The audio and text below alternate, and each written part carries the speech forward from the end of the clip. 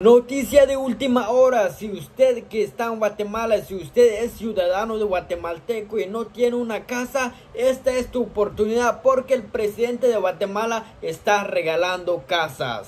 Y así es mi gente, como pueden ver, estas son las primeras casas que están regalando hoy en día. Como e, y estas son las primeras palabras del presidente de Guatemala, Bernardo Arevalo. E, y lo siguiente. Los sueños de tener casa propia están por cumplirse. Con mi primera casa, las familias guatemaltecas tienen la oportunidad de acceder a un hogar digno y seguro.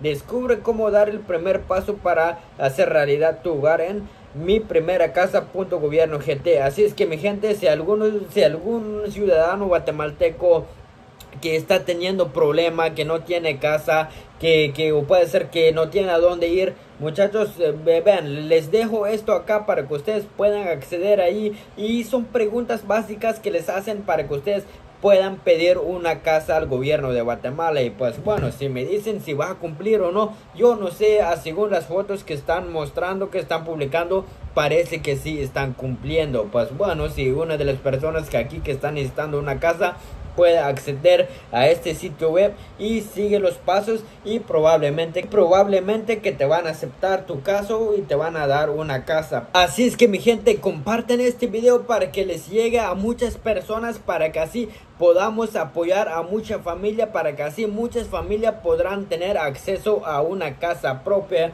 Y aunque muchas personas están criticando esto ya que el gobierno debería arreglar los problemas de la economía de, de muchas cosas que estar afectando Guatemala. Pero bueno, al menos ahorita al parecer están donando estas casas para la familia, para las familias que no tienen un hogar, que no tienen donde quedarse, que no tienen donde dormir o han perdido por accidentes o por uh, terremotos. Yo no sé cómo sea la forma que han perdido la casa pero pero lo que vemos aquí es que el gobierno está ayudando a esas familias. Así es que mi gente comparten este video en sus redes sociales para que así pueda llegar a más familia